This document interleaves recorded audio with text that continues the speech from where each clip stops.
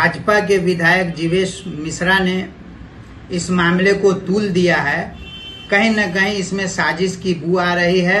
जीवेश मिश्रा ने पेश किया, मानो पाकिस्तान से कोई आतंकवादी आकर के वोट गिराया हो। इनका लव जिहाद फेल हो गया। अब ये बुरका जिहाद, वोट जिहाद लेकर के यह कि जो मधुबनी लोकसभा से प्रत्याशी थे अशोक यादव जी, उनकी भाषा तो एक अशिक्षित व्यक्ति जैसी भाषा है। उनकी जबान में कोई मर्यादा नाम की चीज़ नहीं है। जाले की बंधौली में मधुबनी लोकसभा चुनाव के दौरान फर्जी वोटिंग मामले में अब सियासत गर्मा गई है।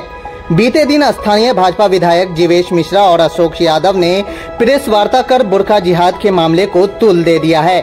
अभी तक एक तरफा हो रही बयानबाजी के बीच मुस्लिम बेदारी कर्मा के अध्यक्ष नज़र आलम ने भाजपा नेताओं पर जमकर प्रहार किया है। उनका कहना है कि विधायक जीवेश मिश्रा के दबाव में पुलिस काम कर रही है, जो कि कहीं से उचित नहीं है। इस पूरे बवाल के पीछे नज़र आलम ने जीवेश मिश्रा को मुख्य आरोपी ठहराते हुए जिला प्रशासन से उन पर कार्रवाई की मांग की है। देखिए, जो देवरा बंदौली की घटना है, बेहद निंदनीय है। जिस तरह, जिस तरीके से भाजपा के विधायक जीवेश मिश्रा ने इस मामले को तूल दिया है। कहीं न कहीं इसमें साजिश की बू आ रही है और दरभंगा प्रशासन पर दबाव बना करके एक विशेष समुदाय मुसलमानों को परेशान किया जा रहा है। ये शुरू से होते आया है कि वोटिंग में अगर कहीं कोई व्यक्ति गलत पकड़ा जाता है तो उसको जो वोटिंग का समय होता है, खत्म होने के बाद उसको थाना पीआर बॉन्ड भर के छोड़ देता है। लेकिन ये देवरा बंधौली के मामला को इस तरीके से जीवेश मिश्रा ने पेश किया, मानो पाकिस्तान से कोई आतंकवादी आकर के वोट गिराया हो। इनका लव जिहाद फेल हो गया। अब ये बुरका जिहाद, वोट जिहाद लेकर के नेता बनना चाह रहे हैं। और शर्मनाक बात यह है कि जो मधुबनी लोकसभा से प्रत्याशी थे अशोक यादव जी, उनकी भाषा तो एक अशिक्षित व्यक्ति जैसी भाषा है। उनकी जबान में कोई मर्यादा नाम की चीज़ नहीं है। मुझे लगता है कि वो जिस व्यक्ति के बेटा है हुकुमदेव नारायण यादव जी के, मुझे लगता है शर्मनाक है कि जो शख्स लगातार सियासत में रहा हो, उसको अपनी भाषा पे भी संयम नहीं है और कुछ भी अनाप शनाप बोल दे रहे हैं। मुसलमानों का जो वोट प्रतिशत है, मैं ये दावे के साथ कह सकता हूँ कि ये जो वोट जिहाद, लब जिहाद, बुरका जिहाद वाले नेता अनाप शनाप बक रहे हैं।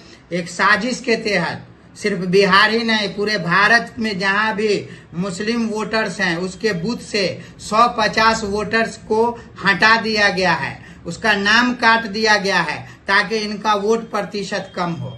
देवरा बंधौली की घटना कोई वहाँ की जनता के द्वारा नहीं घटी। ये सीधा सीधी जीवेश मिश्रा के द्वारा घटी घटना है। ये बूथ पर किस अधिकार से गए? इन्होंने महिलाओं के साथ दुर्व्यवहार कैसे किया? इन्होंने वहाँ के वोटर्स को कैसे रोका? हम तो दरभंगा प्रशासन से कल हमारे जिला अध्यक्ष ने इस पर आवेदन दिया है और पाँच मांगे उसमें रखी गई है। उसमें एक मांग है कि मुख्य आरोपी है जीवेश मिश्रा। उस पर मुकदमा क्यों नहीं हुआ? किसकी अनुमति से वो बूथ पर गए? किसकी अनुमति से उन्होंने महिला से दुर्व्यवहार किया? किसकी अनुमति से उन्होंने वोट वादित किया? जब ये फेल्योर हो गए, इनको हार का डर सताने लगा, ये हताश हो गए तो इन्होंने एक मुसलमानों के गाँव को चिन्हित किया और वहाँ बुरका जिहाद, वोट जिहाद जैसा नारा दे करके, स्थानीय प्रशासन पे दबाव बना करके वहाँ के जिम्मेदारों पर फर्जी मुकदमा करवाया और बच्चियों के पर भी फर्जी मुकदमा करवाया। हमने प्रशासन से मांग किया। दरभंगा प्रशासन हमेशा से निष्पक्ष भूमिका में रही है। वो किसी के दबाव में नहीं आए और सबसे पहले जीवेश मिश्रा पे मुकदमा करे। दूसरा जो धारा लगाया गया, उसमें संशोधन किया जाए। तीसरा कि जो निर्दोष व्यक्ति का नाम डाला गया, उसे हटाया जाए। बच्चियों ने अगर गलत वोट किया या वो बूथ पे पकड़ी गई तो उसका पीआर बंड भर के छोड़ा जाए। लेकिन एक जीवेश मिश्रा के दबाव में आकर के दरभंगा की प्रशासन पूरे अमन के माहौल को नहीं खराब कर सकती।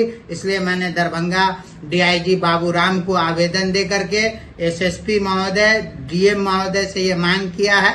और बिहार के मुखिया नीतीश कुमार जी से। कि सामने बकरीद का बड़ा त्योहार है। आप किसी के दबाव में साजिश के तहत किसी मुस्लिम बस्ती को टारगेट नहीं कर सकते। आ, सामने त्योहार है पूरे गाँव से लोग गायब हैं। आखिर वहाँ महिलाओं की सुरक्षा का भी मामला है एक भी मर्द गाँव में नहीं है। ये कौन सा आतंकवादी घटना है? कौन सा दंगा किया गया जो इस तरह का धारा लगा करके सभी को छापेमारी की जा रही है? सवाल ये भी है कि अभी तक जो है राजद की कोई नेता हो या किन्हीं की प्रतिक्रिया नहीं आ रही है, जैसे अशोक यादव ने अपना पक्ष रखा।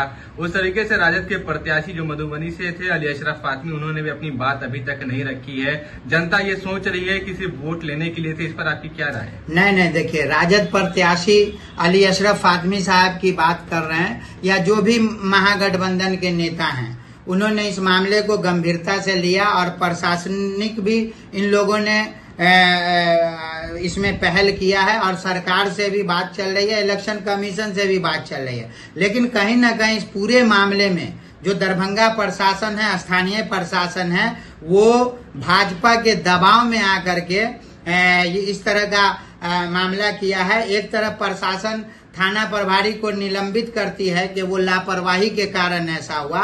फिर दूसरी तरफ़ आप समझिए कि एक आरोप लगाया गया कि थाना से ये भाजपा के विधायक के द्वारा लगाया गया कि अपराधियों ने अपराधियों को छोड़ाया, जबकि ऐसा कुछ भी नहीं है। वो बच्चिया जो थाने पे एक बजे से लगातार कस्टडी में थी पुलिस के, उसको थाना प्रभारी ने ही कहा कि आप इसे ले जाएँ, डॉक्टर का उपचार कराएँ। तो वो वहाँ से लोग लेकर के आए। हाँ वहाँ बच्चे ज़रूर शोर मचा रहे हैं, लेकिन वो किसी को नुकसान नहीं पहुँचाए, न थाना के किसी स्टाफ को, न महिला पुलिसकर्मी को।